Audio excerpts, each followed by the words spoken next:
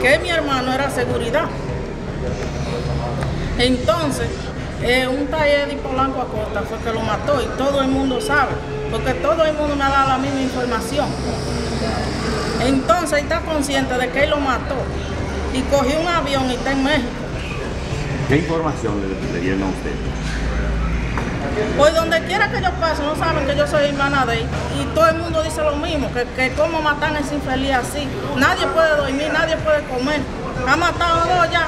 De lo que se sabe, de lo que no se sabe, no se sabe cuánto ha matado. ¿Qué tiempo hace de eso que sucedió? Eso hace un mes y como 15 días. ¿Cómo se llamaba tu hermano?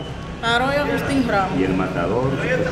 Eddie Polanco Acosta. ¿En qué sector? En el barrio San Pedro. ¿Pero tuvieron algún problema ellos?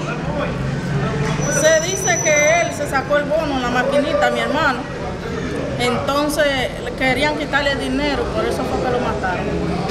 Todo el que da su aporte dice eso, pero que nadie quiere venir a declarar porque nadie quiere problemas. Pero yo no tengo miedo. Yo no tengo miedo.